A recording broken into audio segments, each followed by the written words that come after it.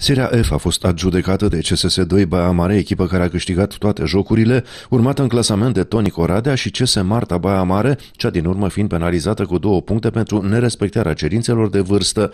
La CSS2 Baia Mare a evoluat și componenta CS Minaur Oana Borș, extremă care a marcat 16 goluri în cele două meciuri.